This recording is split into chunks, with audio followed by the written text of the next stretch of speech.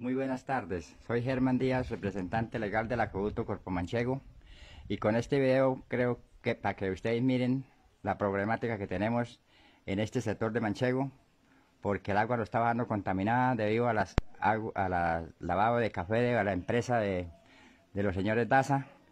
Y eh, somos 35 familias nomás aquí en Manchego, afuera de la vereda Cruz de Piedra, otros sectores y el colegio de Manchego que cuenta como con 70 niños que se están enfermando ya del estómago por debido a la